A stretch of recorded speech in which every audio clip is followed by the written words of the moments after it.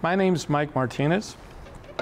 Um, I teach communications law and ethics here uh, on the undergraduate level and um, communications law in a democratic society on the master's level. So um, the difference between the two, the undergrad class, basically you learn a lot of rules. The master's class, you learn how to apply it to a democracy. Um, one of the things I do when I, when I start out both classes um, and I, and I don't want to scare you, but the, the whole point of the class is to keep you out of trouble, keep you not getting arrested. Um, and, and a lot of that has to do with knowing the law, knowing what you can, what rights you have and what rights you don't have. Um, and then incorporating it in the real world, because while you may be protected, you know, have certain rights, um, that doesn't necessarily mean that everybody follows the rules, if, and, and I'll explain that a little bit more in, in a bit. Um, but let me give you some examples. Uh, Amy Goodman. Y'all familiar with Amy Goodman? Democracy Now? NPR? No? Okay. Well, she's, uh, she does public television and, and public radio. Uh, it's a program called Democracy Now! And she went to uh, the North Dakota pipeline access uh, protests to report. And she got arrested. Initially, the South Dakota, South Dakota? North Dakota. Um, police were going to charge her with trespassing, and then they figured that charge wasn't going to stick, so then they charged her with uh, participating in a riot um, and arrested her.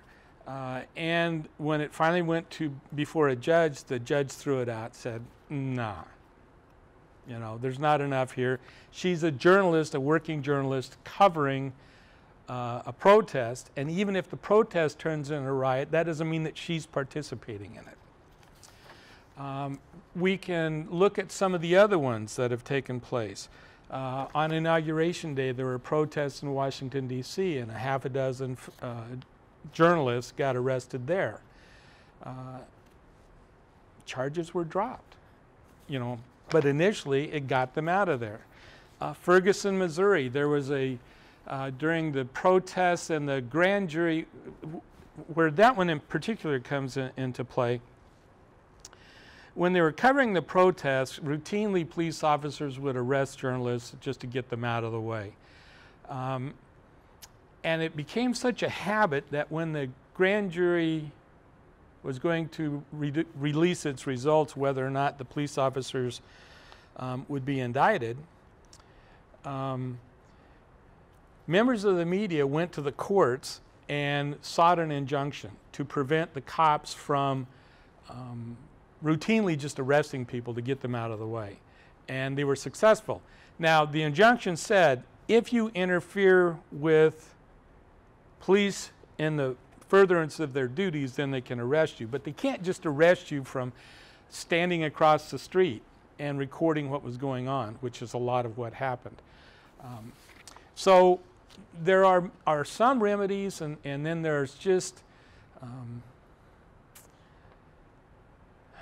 it's the cost of doing business, I guess is the best way to put it. And, and one of the things that I hope I can uh, get you to thinking about by the time we get done here is if you're ever faced with a situation like this, what, what will you put up with? And, and I'll go into that a little bit more in a, in a minute or two. So, uh, Ferguson, Missouri, the Occupy Wall Street protests that took place uh, a few years back. Uh, many journalists in, in those protests, or those occupations, if you will, um, got arrested. Uh, it, it, but it, one of the things I want to point out is that it's not only these big events. Um, there was uh, a situation in, um, well, let me just tell you about this. Uh, a, a 23, 23 year old barber, a guy named Feidin Santana, was walking to work one morning in South Carolina. He came along, uh, came across two police officers, uh, and he had a, cell phone with him. and one police officer, the, the two police officers stopped a, a African American man for uh, uh, busted taillight. Um, and he saw what was going on, and the, the African American man started running from the cop, and the cop shot him in the back, killed him. Um, Santana recorded all of this on a video on a, on a smartphone, on an iPhone, and it's the only record of it. Um, the second officer uh, wanted him to stop recording and, and told him to stay put, and Santana um, knew that this wasn't going to bode well, so he took off running. Fortunately, he got away. Probably not the smartest thing to do is to run from cops, particularly ones that have just shot somebody. Um, but the, the cops didn't go after him. This was the only record of what happened. Um, there, you know, the police officers didn't have any dash cams or anything like that, or any body cameras, so it would have been their word against anybody else's, except for this video footage showing what the cops had done. Um, this is not the only incident. There have been a number of them where just individuals, every, everyday people, will record police officers uh, on their cell phones or uh, conducting business, and if it gets out of hand, um, it's, it's a record of police brutality, if you will. Police are not real happy with citizens, journalists, anybody recording their activity. Um, they're, I hate to generalize, but it takes a certain kind of mentality to become a police officer. Typically, they're alphas. You know, they need to be in charge. They're trained to be that way.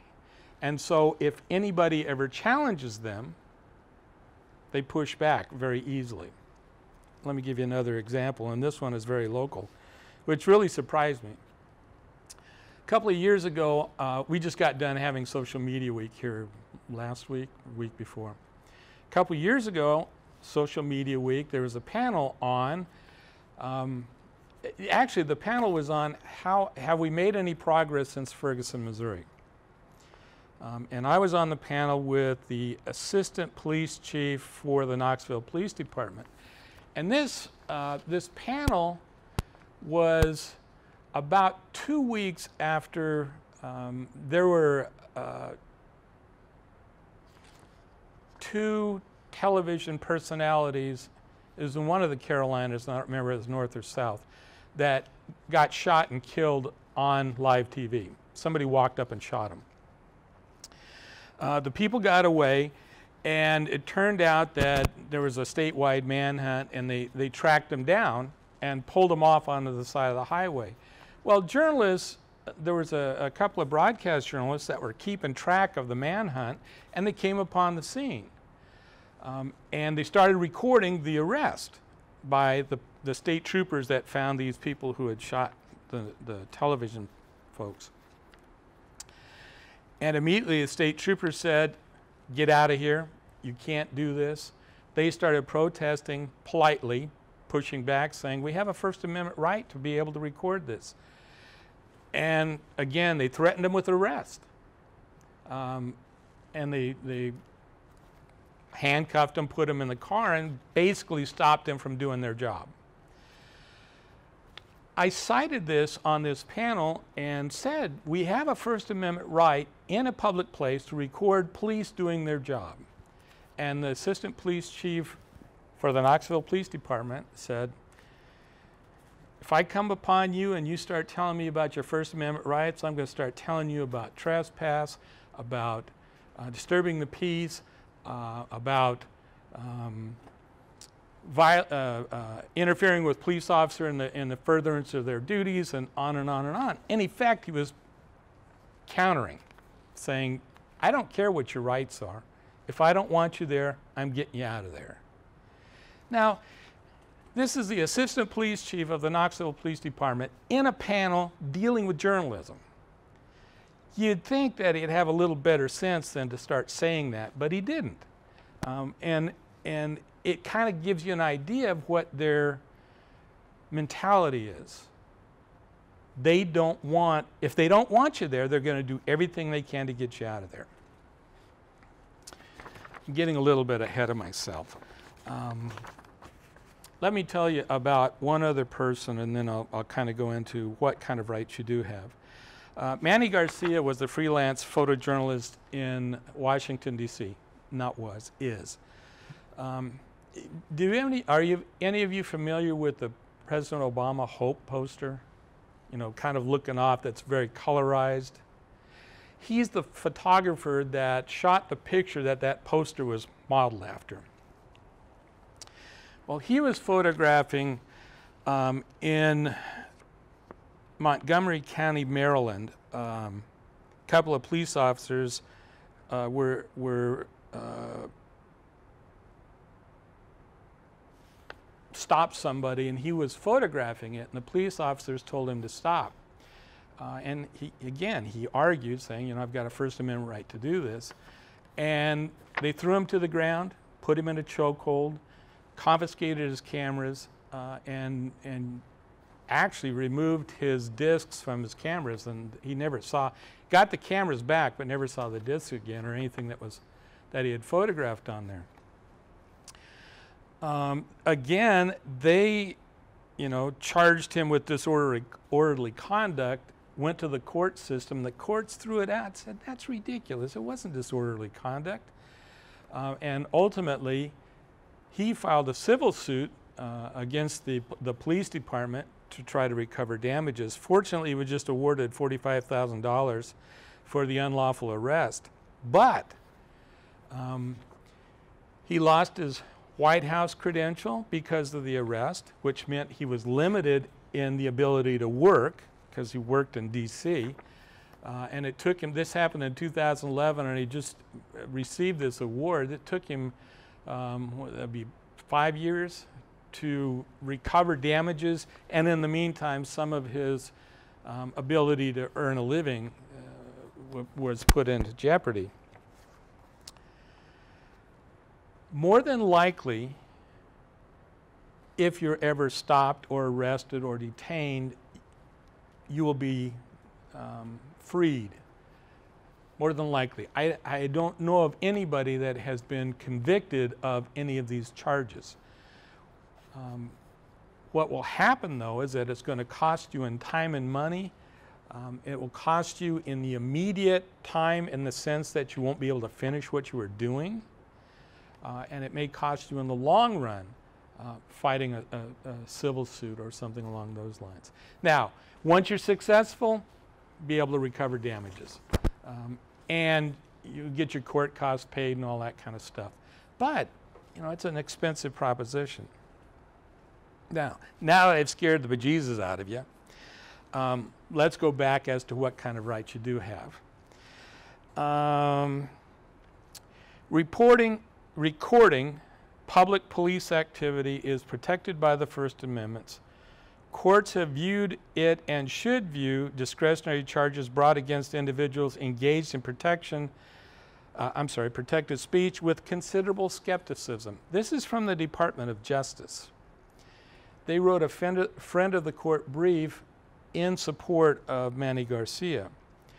And they point out several cases that have arisen recently regarding the recording of public police activity involve discretionary charges such as disorderly conduct, loitering, disturbing the peace, and resisting arrest being brought against the person engaged in recording.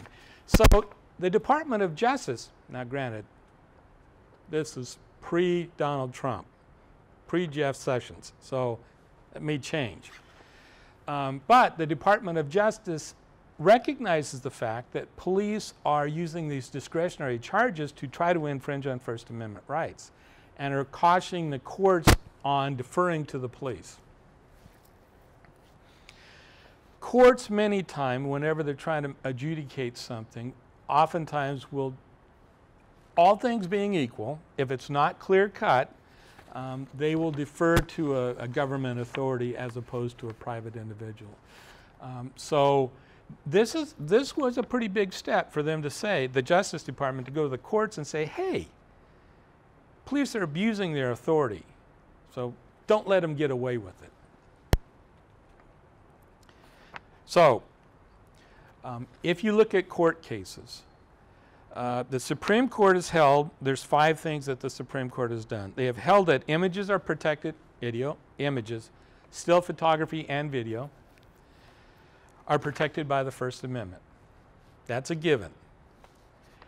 The act of creating those images, not just the finished product, is also protected by the First Amendment.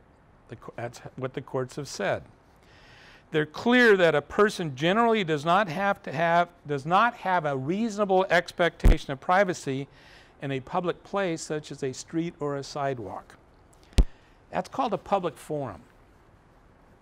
And if you um, have any of you taken any of the communications law courses yet? No? Yeah, you have, I know. Um, typically people take it in their senior year, so if you, if you have yet to take it, um, I didn't teach it this semester, uh, uh, Dr. Fontenot did, um, but you'll probably get me if it's in the next year or so.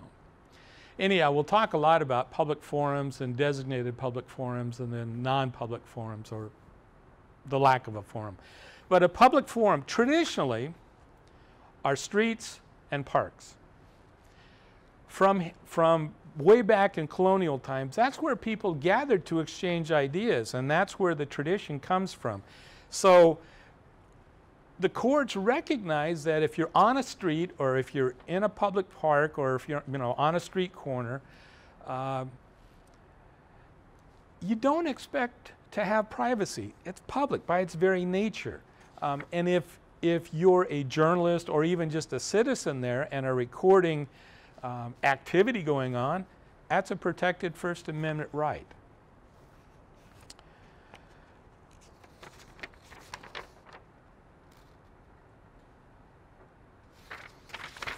The other part of this is courts have found that streets and sidewalks, places where police often carry out their work, um, have often been um, places open for public speech activities. Um, now, having said that, um, there can be some restrictions in the sense of, you know, you, if you hear about protests, they need to get a permit and all that kind of stuff. There's time, place, and manner restrictions. Um, you can't march down Cumberland Avenue at, at high noon. What you're going to do is disrupt traffic. You need to get a permit. You can you, you can probably march on the sidewalk, uh, and there have been protests, uh, even recently within the last couple years. Um, some of the, the, you know, the workers that are protesting outsourcing, uh, they protested at lunchtime going down Cumberland Avenue and that type of thing. Um, but with the exception of time, place, and manner restrictions, uh, you are free to record video or photographs, you know, still photographs or protest um, on streets and sidewalks. And then the fifth thing that the courts have recognized is the conduct of police as government officials is a matter of public concern, and speech as a matter of public concern is at the heart of the First Amendment. One of the key elements of the First Amendment uh, as the founding fathers determined it, was to foster an understanding and an education of issues to foreign and foreign public. Um, you know, in the United States, it's we the people. Even though there is a government, we elect them. They represent us. It's not them telling us what's going to happen. It's us ultimately telling them, although uh, in this day and age, you know, it doesn't seem like it, but ultimately that's what it boils down to because if we don't like them, we can vote them out of office. So pol political speech and, and government officials is at the core of First Amendment protections. So if you look at all of that, y'all have a right to be able to go and photograph and report and, and record um, any kind of activity on public streets, and particularly when it involves government officials. So, those are the rights. I described some of the problems that have come about uh, in recent history. Um, and now let's talk about what is reality. whenever you speak with police officers and, and this this and, and ask them or they talk about um, what they would like from their standpoint um, if they're being if you're being stopped if you're being questioned whether you're a journalist or a citizen or, or whomever um, their point oftentimes is comply first and complain later comply with what they're requesting, and if you don't like what they've done to you or think you've been wronged, go and complain to their police chief or go and complain to the courts or something along those lines. The problem with that, as far as journalists go, is that if you comply to their wishes, you end up not doing your job. They prevent you from covering what you're there to cover. So, I kind of liken it as opposed to comply first complain later to catch and release. They get you out of their hair and then they release you later on saying, we don't have enough to hold you on trespassing or, or whatever you know, they've, they've come up with, not complying with a police officer. Some of these, some of these statements are so bogus, it's amazing. Um, some of these instances, they'll say, you know, move back further. So you're 30 feet away and you move back to 100 feet and you put on a longer lens. They don't like that still. You're not complying with this, we're going to arrest you. The question you would need to be prepared to ask yourself is how much do you want to stand up to them? Do you want to spend a night in jail? Do you want to get yanked out of whatever situation you're in. Um, and, and what also, quite honestly, what kind of support whatever station you're working for will give you. Um, it's important to know that too, because in this day and age, uh, with tight budgets, who knows what kind of support. Uh, typically, they're pretty supportive. You know, they'll, they'll call and complain and they'll pay for legal fees and that type of thing, you know, legal representation within the House Counsel but it's a good idea to make sure you know where you stand. Um, so what's at stake? Um, one of the big things at stake is whether, right then, whether you're able to finish the assignment, finish whatever you're doing. Um, maybe further down the road, is this going to harm your job prospects, your employability? Um, you know, Mannie Garcia lost his White House credential that affected his ability to work. He's still able to freelance, but you know, not as much as he had been before. Um, that's that's one thing. Search and seizure, taking your equipment, asking to see your images, asking you to delete your images. That may be something that you're faced with. Um, and that's a Fourth Amendment issue. I'm going to talk about that a little more in a, in a minute. Um, being arrested. Being arrested is no fun. You don't want to sit in jail, even if it's just overnight or even just if it's until you're released, you know, four or five hours later. Um, fighting the arrest, you're going to have to find, you know, get a lawyer to represent you. Now, whether the company does or you have to do it on your own, uh, it's still a hassle. And then later, if you know, if if you really have been violated, I mean, if you're thrown to the ground and choked and that kind of thing, a civil suit, those things are not cheap. Now, you may be able to recover damages later on, but you've got an initial outlay of getting an attorney to represent you. Um, so now, not only the first First Amendment rights, which is the right of a journalist um, or protection for a journalist, but Fourth Amendment rights. Fourth Amendment rights are due process, meaning um, if a police officer wants to see your footage or your images or whatever those, you do not have to show them to you. You don't have to show them to him or her. Uh, they need a search warrant in order to do that. Um, and if they confiscate something, that's even more of a, of a, they have to have probable cause and they have to go through a whole process to take your camera equipment definitely have to go have to have the, a search warrant to look through your images. And if they delete anything, there's there's nothing that allows them to do that. that is an absolute Fourth Amendment violation. Um, so, you know, there's, the, that's another part of the, uh, of the battle that you would have to go through in order to recover damages. so, all of those kinds of things are the rights that you would have and what you might expect. Now, let me give you, give you these. Um, this is from the ACLU. This is the national one. Um, there are, and I'm going to go through this here for a second. Uh, there are state ACLUs also. Uh, and for example, some states, when you're recording, if you're recording audio, some states have a, and Tennessee is one of these states, it's a one person consent which the one person can be you. Uh, some states, such as Pennsylvania and Illinois, have a two party consent. Now, in general, the courts have recognized the fact that, again, if you're in a public place on a public street, you have no expectation of privacy, and they've recognized that recording audio with video, either from a cell phone or a, a video camera, um, of a police interaction with somebody, for example, would not, you would not be violating wiretap laws.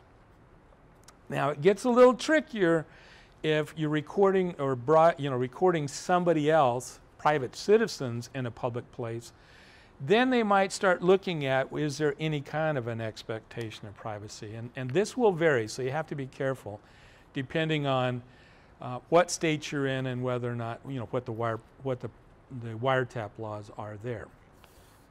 So wherever you end up working, it's a good idea to figure out what laws are in effect in, in, in that particular state.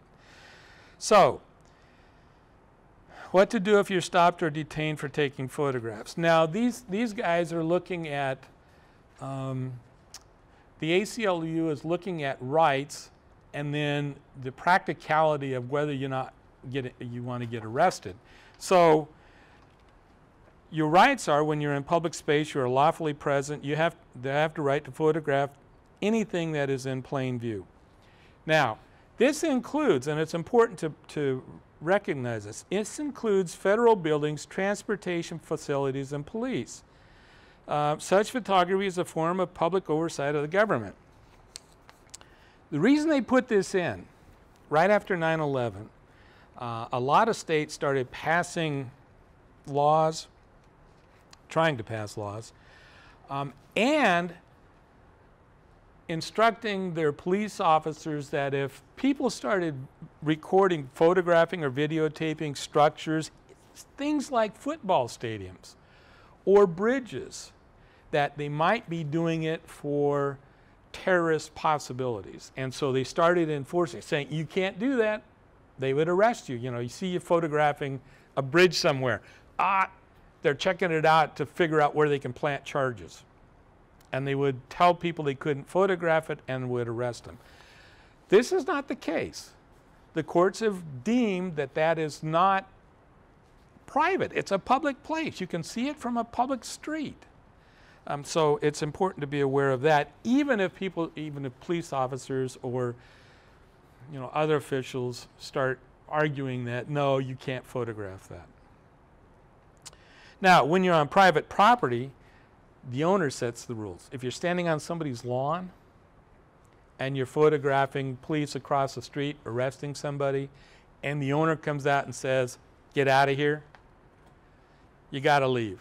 You got to get off his property because it's private property and that is trespassing if he asks you to leave. Um, so keep that in mind. Sidewalks are one thing, private property is something else. The other reason that this, where this comes into play, um, if you are, for example, um,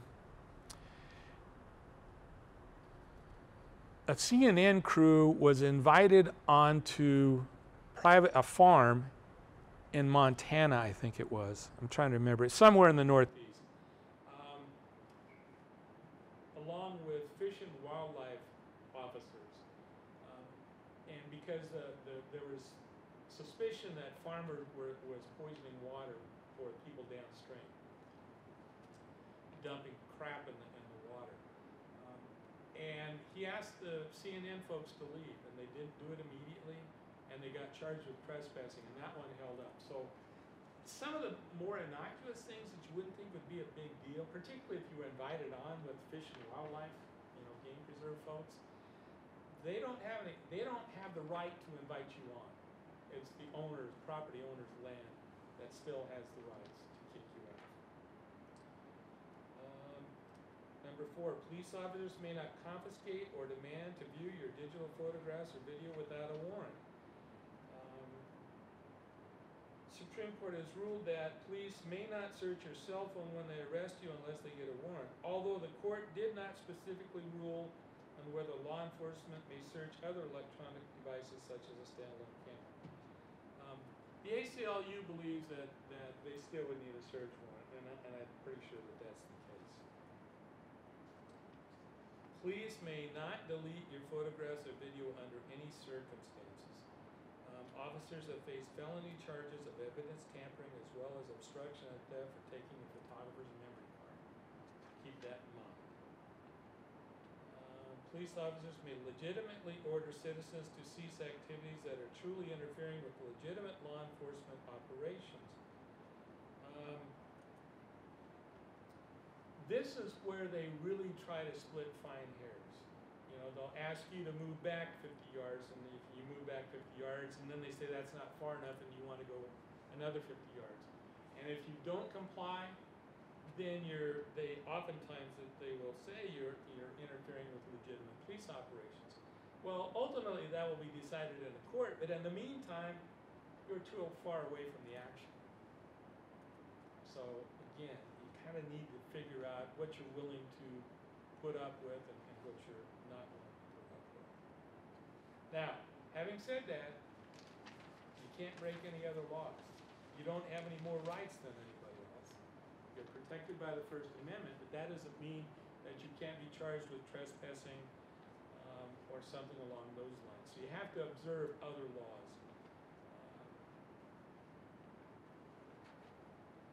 Now, from a practical standpoint, ACLU suggests if you are stopped or detained for taking photographs, remain polite, never physically resist an officer. That'll get you arrested in a heartbeat and probably hurt. Um, Because police officers, I, I, uh, volunteered for the Columbia Police Department in Columbia, Missouri while I was going to school there. And what we would do is we would do an awful lot of training with them um, in hypothetical situations. And of course, being the volunteer, I always had to be the bad guy. Um, but they get amped up, seriously, on adrenaline. Um, even in, in a hypothetical situation, and it doesn't take much to push them over the edge. Um, they'll tackle you and take you down in a heartbeat, and they're trained to do it, and they don't do it lightly. They subdue you, and, and literally, I mean, that's the whole point. They don't, they don't want to put themselves in harm way, harm's way, get themselves in harm's way, and, and consequently, when they subdue you, oftentimes it hurts. So, be polite, be firm, but be polite, uh, and, and don't, don't resist them. If stopped for photography, the right question to ask is, am I free to go? Am I being arrested or am I free to go? If you are free to go, move on. If the officer says no, then you're being detained, something that under the law an officer cannot do without reasonable suspicion that you have or are- about to commit a crime or in the process of doing so. Um, Until you ask to leave, your, your being stopped is considered voluntary and is legal under the law. So, politely, am I free to go? It puts them in a, I was gonna say, it puts them in a bind. What it does is it causes them to be clear with you as to what your situation is. Uh, And, and officers, I need to clarify something. I have the utmost respect for officers that follow the law. Um, And, and I don't think they're adversarial in and of itself. Uh, But they are trained to get information from people. So they are trained, it's called verbal judo, quite honestly.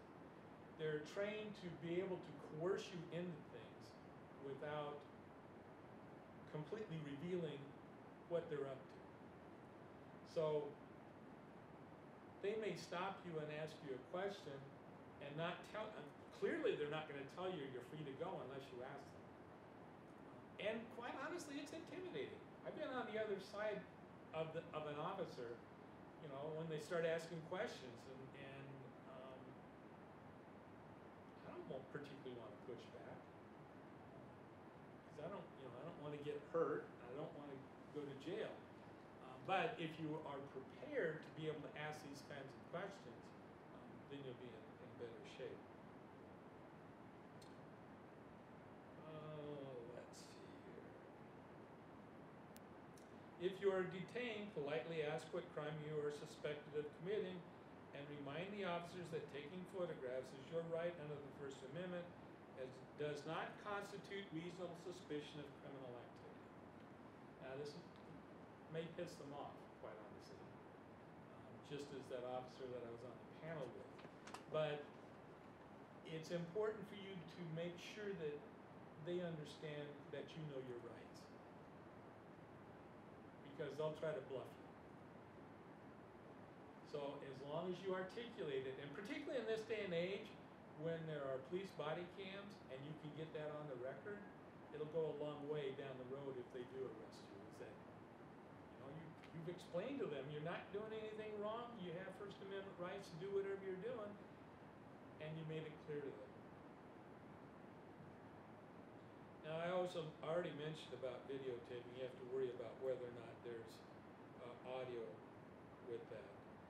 Um, the other one, and this one gets a little tricky, pho- photography at airports.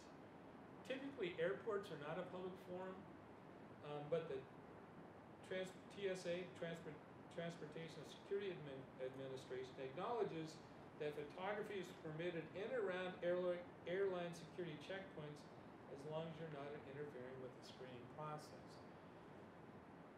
In a situation like that, it's always important to go up and explain to them what you're doing before you start photographing or recording, because, um, and actually, unless it's a confrontational situation in the first place, it's always a good practice anyhow. Um, if there are some officials somewhere, just let them know that you're there and what you're doing. Now, if it's police officers arresting somebody, don't get in the middle of that. That will just get you into trouble. Um, But if it's something like, you know, you, you, you're recording, the new immigration rules just went into effect, so, or will in whatever it is, fifteen days. Um, and you go out to TSA on the first day that they're implemented, go out to the airport, tell the TSA folks that you're there to, to record the first day of the immigrate, new immigration policies. Uh, That'll go a long way keeping you out of trouble and not getting them angry at you. So it's, it's those kinds of things that really come in handy. Can I add something to that? Sure. Something practical. Um, Someplace like an airport where you may end up, you know, if you work a beat for a couple of years, you may end up recording something like, you know, something there once every couple of months.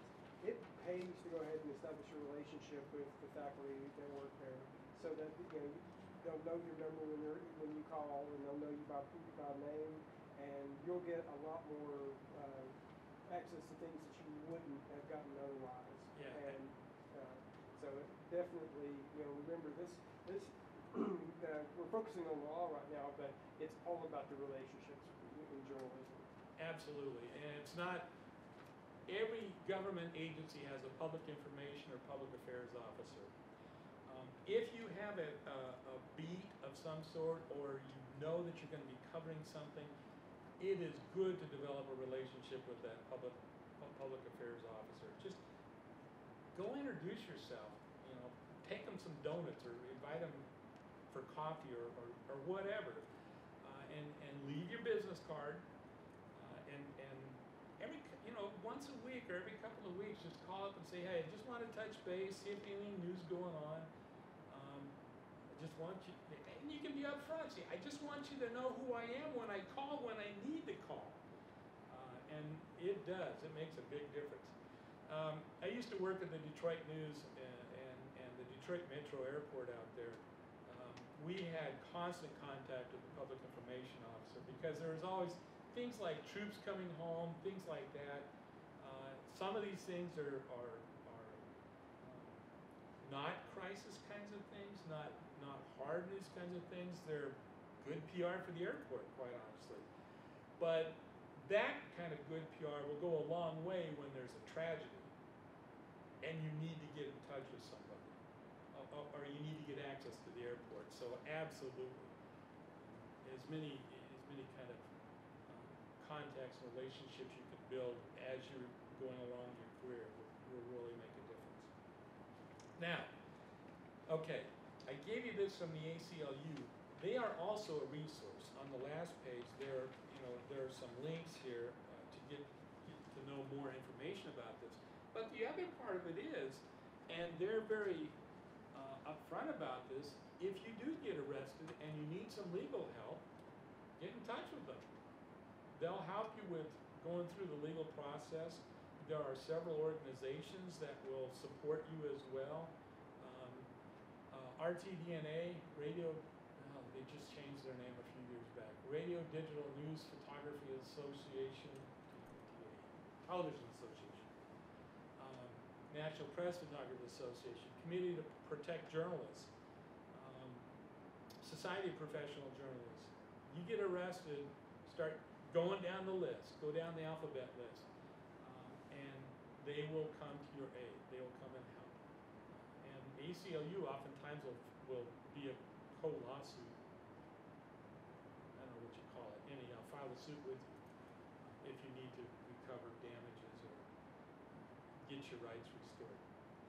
Now, a lot of this is kind of after the fact. So one, let me let me make one kind of pitch, kind of go in the other direction, which is more prophylactic or pro. Uh, and and this goes along with Clint with your your point about getting in touch with the airport officers. Try to develop a good relationship with the police department wherever you are. Uh, get to know the, the public information officer there. If you get, if you can, get to know the police chief, um, so that when you're in one of these confrontational situations, um, even if it's the line officers that are pushing back, when it gets to the upper level and somebody starts reviewing what these officers did, the police chief will know that you're a good guy, a good person. Um, you're well respected. You did. You're not a troublemaker, uh, and it goes a long way if, if they know you. It makes a lot of difference. If you're, you know, if you're some unknown person, uh, they have nothing to go on when they start investigating this. Might get you in trouble. It's almost ironic that it's, it's, uh, it's not like, you know, super easy, but it's, uh, it's fairly easy to get ride-alongs, like. uh, Oh yeah. I mean, it isn't like they're, they, they hate the press, it's just, I think, it's the mentality where if you're with them, you're with them, if you're not, you're other, Right. and they don't trust you, and, you know, I. Well, particularly in a tense situation. Yeah, And, and that's where, you know, a lot of what we're talking about are tense situations where they're, as I mentioned though, when I, when I was training with the Columbia Police Department, when they get into that um, amped up, adrenaline flowing kind of situation, they don't want to be distracted by anybody. So if you're, you know, over here videotaping them, that's a distraction. That takes them away from paying attention to whatever's going on in front of them. Typically they're not happy about that. So the more they, they know you, the better off they'll be. I was going to tell you something else that I lost my train of thought on that.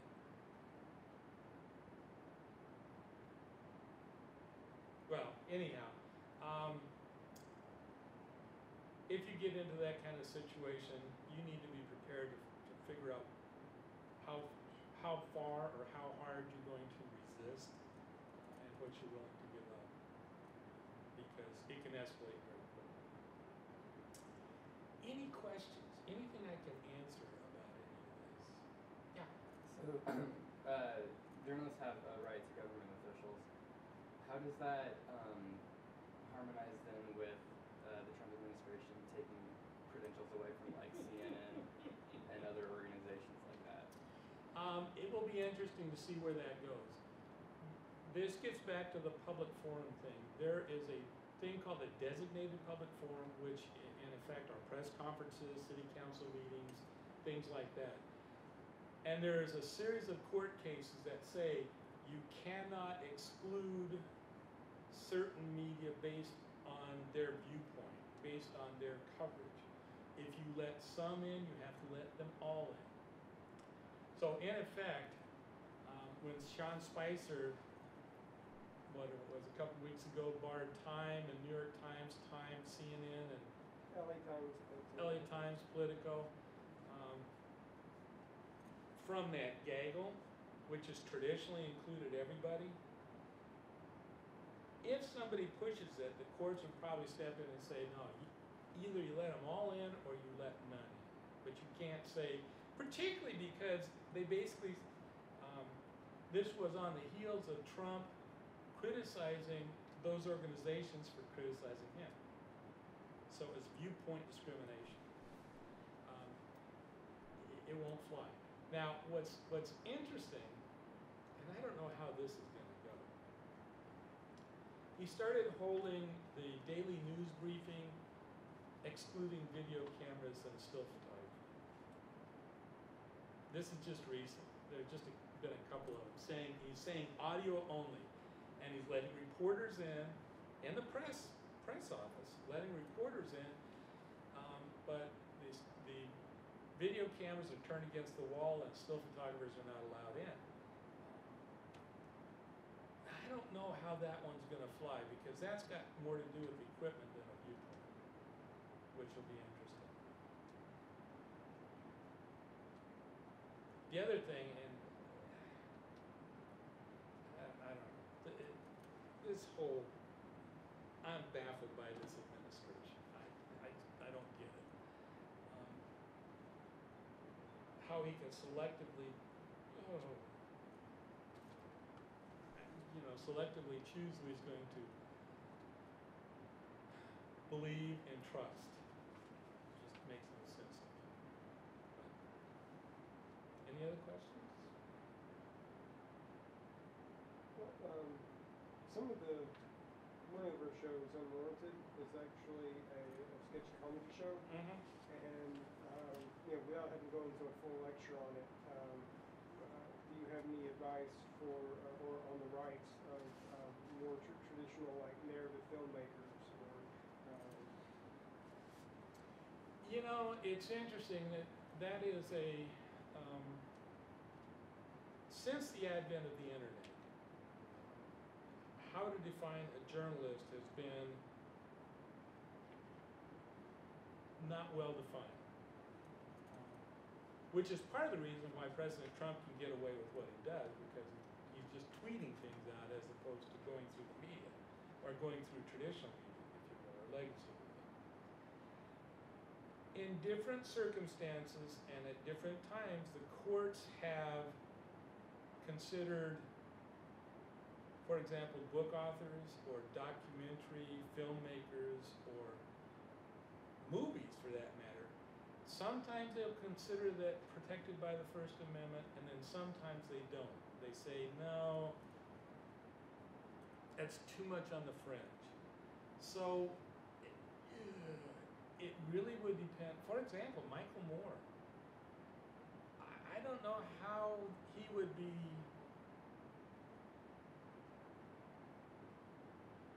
viewed. I mean, I would argue that he would be protected by the First Amendment because almost, not almost, everything he does is political commentary. Um, even if it's, I don't even know how to describe it. It's not documentary necessarily, but it's political commentary. Um, sketch comedy, um,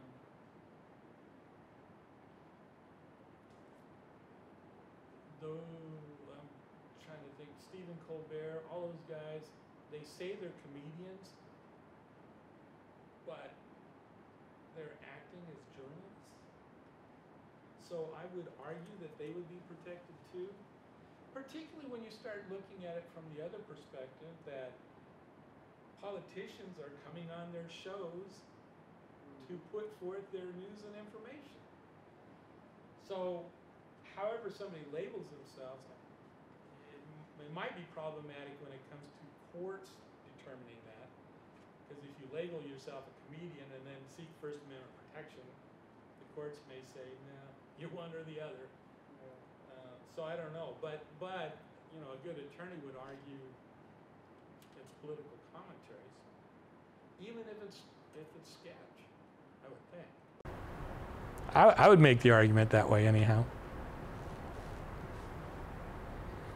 Any other questions?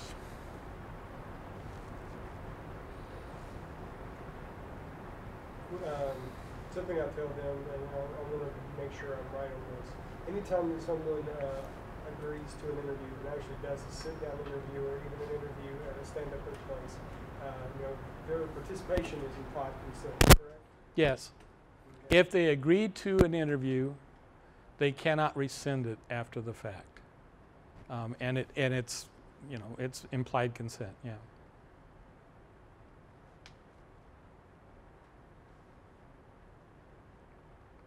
Okay? Have I sufficiently scared you to death? Like, okay, we got a doctor, we got a, uh, a dentist, and they're not, they're like dropping their, uh, their majors tomorrow. Well, the one thing about it, um, some of these are extreme. I mean, these are in the middle of, you know, C- Ferguson, Missouri was the middle of riots. Uh, the North Dakota pipeline is kind of the same way. Uh, the protests in D.C., people got caught up in that and were quickly, I mean, they were released the same day. They weren't even charged, but they were just caught up in it because they were in the midst of it. Um, on the more individual situations, you kind of have to be careful about how much people, the individual, resisted the police officers and how provocative they were. Um, you know, if, if you ever, I don't know if you've ever had any dealings with police, but if you're polite with them, they typically will treat you pretty well. You know, it's it's when you start getting kind of snippy or uh, belligerent, they don't take it well at all. So, okay.